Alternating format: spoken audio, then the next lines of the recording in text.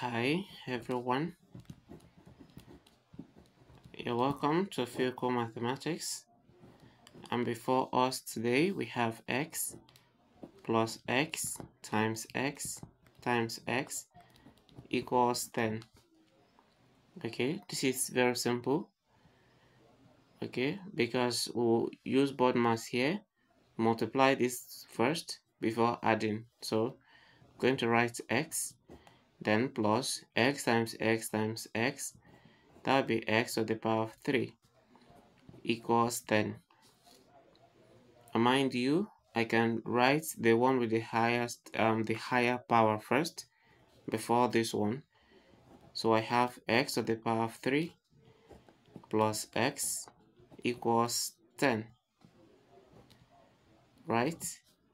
And then mind you I can bring this 10 to the left so if I do that, x to the power of 3 plus x minus 10 is equal to 0. And one thing you must know, if this is equal to 0, that means that this one here should be equal to the 10. Okay, if x to the power of 3 plus x then minus 10 is equal to 0. It means that the value of this and this have to be the same, right? So what I will do now is to express this in this form. So I have x to the power of 3 plus x, then minus, okay, if you like, you can have this in bracket, which is not really needed. Then this 10 is going to be 8 plus 2 as we equate to 0. Now, let's have x to the power of 3 plus x minus, open bracket, 2 to the power of 3 plus 2. This is equal to 0. Now, look at the left hand side. Um, look at this and this. They are now in the same form, right? So we can proceed and open the bracket. We have x to the power of 3 plus x minus 2 to the power of 3 minus 2 equals 0 because the negative is expected to open the bracket. Now, there will be need for us to regroup. This is coming here and this will come to x, right? So I'm going to have x to the power of 3, then this is 2, negative 2 to the power of 3.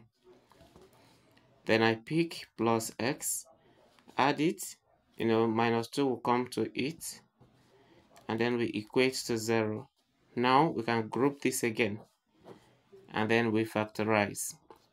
Here we have difference of two cubes, and um, mind you, if you have a to the power of 3 minus b to the power of 3 this is the same thing as a minus b into a squared plus ab plus b squared. Difference of two cubes. So our a minus b now is going to be x minus 2 so x minus 2 in the first bracket then here we have x squared then plus a our a is x now and our b is 2 so that that means we have x times 2 then plus 2 squared for the b. Then um okay yes we'll now equate. We will not equate to to 0 right so okay i have not written this. Okay my bad i have not written this. So i'm going to write plus open bracket x minus 2 then we now equate to 0 okay if we go ahead x minus 2 is here. x squared plus 2x plus 4 is here. And we still have x minus 2 which I almost left out. Then we equate to 0. This and this are common factors, so x minus 2 I'll pick it out.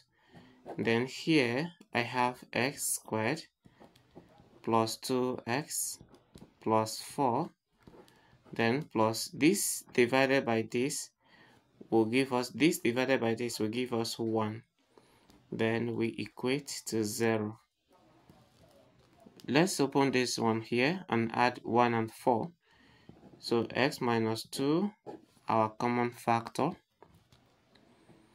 then here we have x squared plus 2x plus 5 equals 0. Now we're multiplying the two brackets to get 0, this times this to get 0. And every time you multiply two terms to get 0, one of them must be 0. If not, you will not have 0, right? So we will say that let x minus 2 be equal to 0 first, so that x will be 0 plus 2 and then our x is 2 this is one of the values of x and again we'll now let this to be equal to 0 x squared plus 2x plus 5 to be equal to 0 and we'll get two more solutions from there okay so from here now let's use the formula method for this x is equal to minus b plus or minus the square root of b squared minus 4ac all over 2 times a. So our x will now be, in place of minus b, we'll write minus 2 because b is 2. Plus or minus, we have 2 squared over here. Minus 4 times 1 because a is 1, the coefficient of x squared then multiply by 5, the constant. So we'll now divide this by 2 times 1, so that our x will now be minus 2 plus or minus.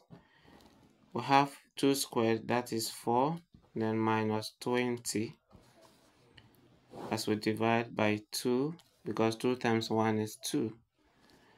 Now our x is minus 2 plus or minus we have 4 minus 20 is minus 16 then divide this by 2 ordinarily the square root of 16 is 4 right?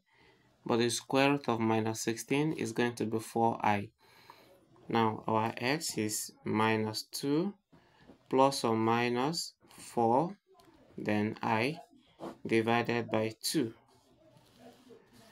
our x is now 2 can go there we have minus 1 plus or minus the same 2 will go there we now have 2 then multiply by i. So our x is now minus 1 plus 2i or minus 1 minus 2i let's bring the three solutions together. We got x1 before which is 2 now we have our x2 which is this minus 1 plus 2i then we have our third solution x3 which is minus 1 minus 2i these are the three solutions